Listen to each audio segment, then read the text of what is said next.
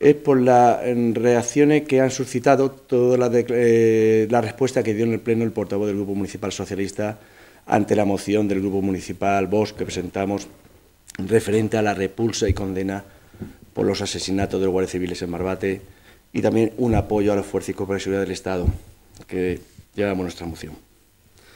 Tal y como planteamos en el Pleno del pasado, mes, eh, pasado 4 de marzo, el objetivo de la proposición no era otro que costase en acta en el Pleno una condena rotunda y expresa por los asesinatos de Guardia Civil y un reconocimiento a los mismos. A pesar de ese minuto de silencio que todos los grupos municipales en el Ayuntamiento de Yecla secundamos hace cuatro semanas. ¿Cuál fue nuestra sorpresa? Que desde los grupos municipales de la izquierda, en el Pleno nos tacharon de demagogos y de improcedentes al presentar esta moción, puesto que consideran que no tenía nada que ver con nuestra ciudad y que era suficiente con el minuto de silencio. Nosotros pensamos que esta moción no solamente en el Ayuntamiento de Yecla, sino en todos los ayuntamientos de España se tiene que haber celebrado. ¿Por qué? Porque hubo ayuntamientos que no, hubo por, precisamente por el Partido Socialista, incluso eh, en Cataluña, el Parlamento de Cataluña tampoco se celebró por, mm, el Partido Socialista de Cataluña tampoco quiso, y sí que creíamos, eh, sí creemos, eh, consideramos que es necesario presentar esta moción en reconocimiento por, en primer lugar, por agentes fallecidos y sus familias. En segundo lugar, por exigir al Gobierno de la Nación que dote de los medios y materiales necesarios a la Guardia Civil y a la Fuerza de Cuerpo de Seguridad del Estado para adecuarlos y para velar por la integridad de todos los españoles en condiciones dignas, incluida la suya cuando están trabajando por nosotros y para nuestra seguridad. En tercer lugar, para exigir la dimisión de un ministro, ministro Marlasca, un ministro nefasto, y lo digo claramente, un ministro que está rodeado siempre de polémica, y oye, claro, lo sabemos con el coronel Diego de los Pérez de los Cobos, ¿no? Y un, ministro que ha sido reprobado ya en dos ocasiones y cuyas políticas están teniendo graves consecuencias para la seguridad nacional.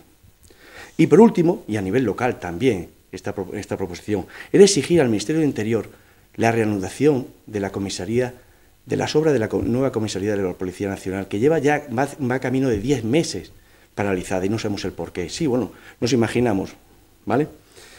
¿De verdad ustedes consideran que esta moción no procedía? Volviendo al hilo de la respuesta del señor Ruiz en el Pleno, pensamos que es de máxima gravedad su afirmación cuando expresó que los agentes habían sufrido un accidente laboral y lo comparó con un vuelco de un tractor agrícola.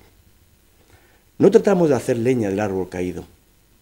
Simplemente creemos que dichas declaraciones deben tener consecuencias políticas.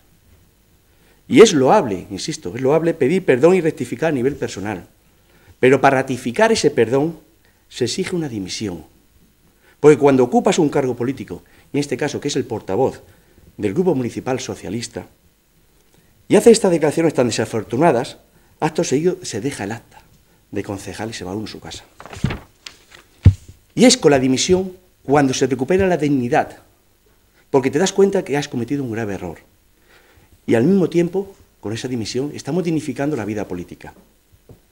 Por desgracia, dimitir hoy no está en el vocabulario de muchos políticos.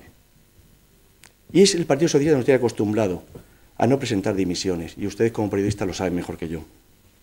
Y además es muy triste que Jekyll haya sido trending topic con una declaración tan desafortunadas y tan viles al mismo tiempo. Por tanto, reiteramos que las disculpas se ratifican con la dimisión y con la entrega del acta concejal. Muchísimas gracias. Es decir, yo repruebo, yo no sabía eso de esa amenaza de muerte, creo que no procede. Y además, voy a decir a nivel personal, lo he dicho antes, una cosa es la persona, todos tenemos una dignidad como persona.